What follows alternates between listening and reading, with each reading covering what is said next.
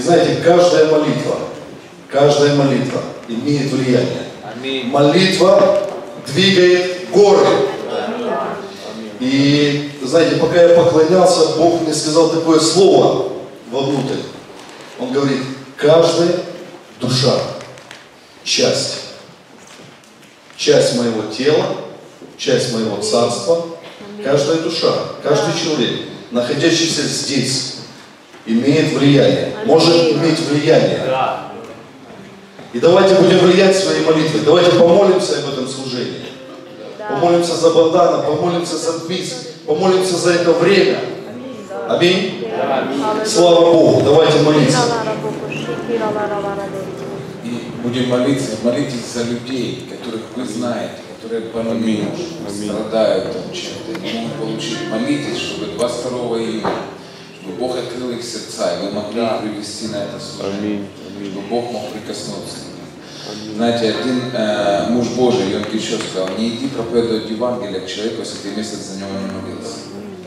Молитесь, потому что молитва открывает сердце, молитва готовит путь Господу в жизнь человека. Да. Поэтому вот сейчас, когда мы будем молиться, давайте молиться за Богдана Кинзерского, будем молиться за это служение, служение чудес. В Тбилиси у нас большое будет чудесами, знамениями. Бог использует его могущественно, ну, реально такие чудеса. Глухонемые от рождения начинают слышать, там опухоли пропадают. Вот, начните молиться о людях, которых вы знаете. Пусть сострадание Божье ведет вас в этой молитве. И потом пусть сострадание поведет вас к этим людям, чтобы пригласить их, взять за руку, привести на это служение. Хорошо? Аллилуйя, Боже. Это Ты предопределил это время, Господь. То, что Ты заказываешь, Боже, Ты оплачиваешь, Господь.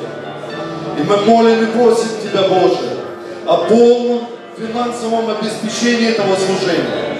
Боже Святый, я молю и прошу, чтобы все ресурсы были высвобождены во имя Иисуса Христа. Я говорю прямо сейчас, помазание Божье на это время, на это место во имя Иисуса Христа. Мы молим и просим Тебя, Господь, прикоснись к Богдану Кинзерскому, Господь, наполни его сердце, наполни его уста, дай ему, Боже, силы Твоей, Господь. Боже, я молю и прошу о чудесах и знамениях в это время. Боже Святый, я молю и прошу о новых органах в это время, чтобы вырастали почки, чтобы новые сердца появлялись, чтобы проходили всякие болезни. Рак уходил во имя Иисуса Христа. Я прямо сейчас говорю на это время, помазание Божье.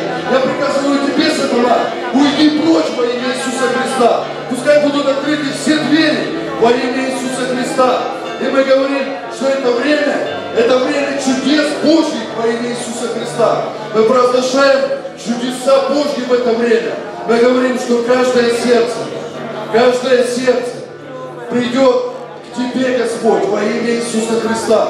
Мы провозглашаем множество людей в этом собрании во имя Иисуса Христа. Мы провозглашаем Тбилис переполненный во имя Иисуса Христа. Мы говорим множество, множество Твоих людей в Тбилиси во имя Иисуса Христа. Мы пророчествуем на это событие. Мы говорим множество людей. Тбилис переполнен во имя Иисуса Христа. Переполнен Твоей славой, Господь. Боже Святый, отдаем в Твои руки, Боже, все это время, Господь, во имя Иисуса Христа. Да будет Твоя воля. И мы молились во имя Иисуса Христа. И весь народ да скажет Аминь. Слава Богу. Хорошо. Присаживайтесь, дорогая церковь. Еще одно очень хорошее служение, служение сения, служение даяния. И начнем с Божьего Слова. Откроем Бытие, 8 главу, 22 стих. Все знают, наверное, это место Писания. Пока существует земля, не прекратятся сев и жатва, холод и зной, лето и зима, день и ночь. Это в современном есть, переводе. И Бог поставил свой закон. Да. Это его закон. И знаете, и стихом раньше, я думаю, такой закон вот радикальный. Но стихом раньше написано о том, что 8.21 бытие. Господь почувствовал приятный запах и сказал в сердце своем, Никогда впредь не стану я проклинать землю из-за человека, хотя всякое помышление его сердца порочно с детства. И никогда впредь не уничтожу всех живых существ, как в этот раз. Знаете, из этого стиха я вижу, что Бог из милости, милуя тебя, поставил такой закон. Милуя тебя и меня. Аминь. Да. Наш Бог, Он милостив. Аминь. Знаете, и как мы можем ожидать жатву, если мы не будем знать внутри наших сердец, что наш Бог, Он Отец, Он Папа, Он милостивый. Знаете, я думаю, Бог хочет нас все ближе и ближе к себе привлечь. Да. И показать, что Он милостивый, что Он Отец. Да. Что когда мы ждем от Него жатву, это, знаете, это не как договор в банке, который ты подписал, и все, только бумага. Но это что-то глубже, что-то глубокое. Из этих мест Писания мы видим даже этот закон, сеяние жатвы, казалось бы, такой радикальный, такой простой и сухой, можно сказать. Но на самом деле Бог его поставил, потому что миловал народ. Аминь. Будем ожидать жатву, сеять и ожидать жатву, как от, от отца, как от папы. Да. Да. И тогда мы дождемся. Аминь. Давайте помолимся о каждом семье, о каждой клине. Боже святый, Ты дал возможность нашей руке сеять. Боже святый, мы молим и просим Тебя, прикоснись к каждой гривне. Молим и просим, чтобы всякое семя, оно выросло и дало плоды, Господь. Я молю и прошу о каждой семье, о каждом человеке на этом месте. Благослови, умножь, Господи. Пускай Твоя милость будет на наших финансах, на наших отношениях с Тобой в финансах. Пускай Твоя доброта там будет, Твоя любовь, Боже. И наши сердца воспринимают Тебя как Отца в этой сфере. Имя Иисуса Христа отдаем Тебе, Господь, наши финансы. Весь народ скажет Аминь.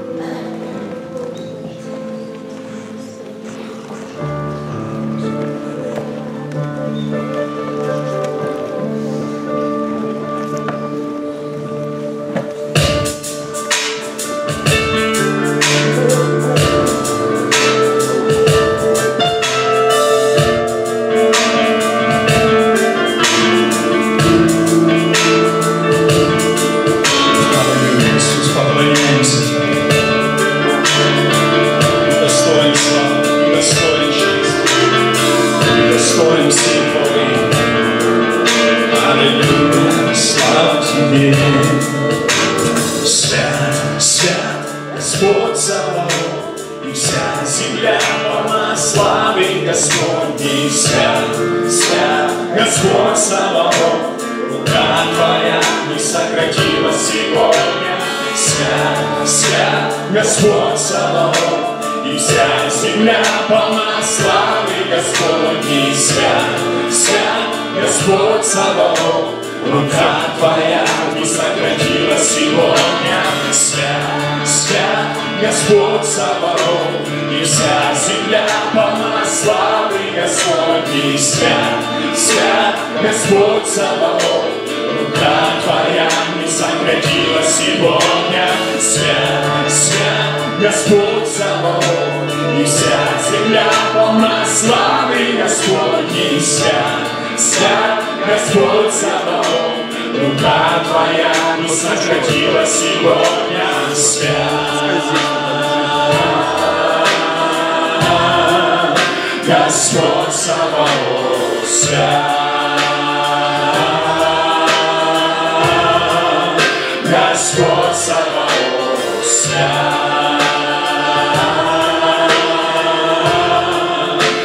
Господь